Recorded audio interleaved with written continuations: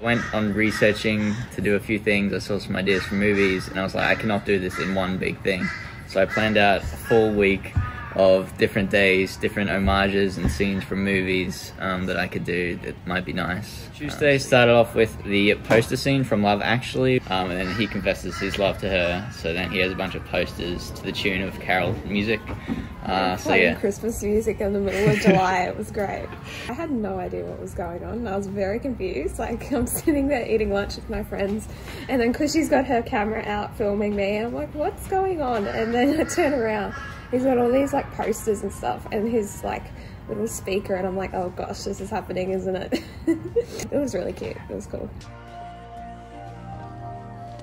You're just too good to be true. Can't take my eyes off of you. 10 Things I Hate About You was the movie. And that took a bit of practice to nail.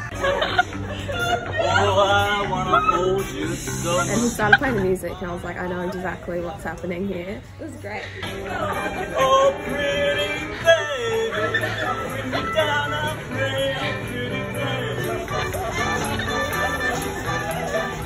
Hello. That one was from Four Weddings and a Funeral, the very last scene. But you're fine, so. The special part about that, the uniqueness, was the rain. Um, so I actually got another one of my friends, RL, to pour some water on me as I spoke a an adapted um, speech from the movie. Um, and yeah, that, that was freezing. Do you think going to the formal might maybe be something you would consider doing?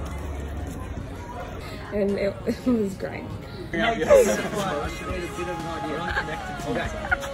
No, I think it was really nice gesture just because this whole year's been crazy and there was a point in the year where we didn't even know if we were going to have a formal or not.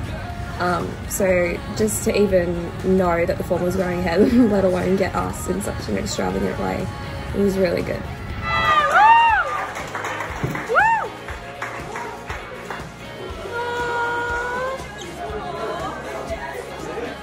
Like I could speak for the girls, all the girls in year 12. Um, we go through our whole school life just wanting to go to formal. And, um, so when we heard it was going ahead, it was just like a big relief. It was like through this hard year, we can still celebrate in a way that we want to. Um, year 12, you know, it's a once in a lifetime opportunity.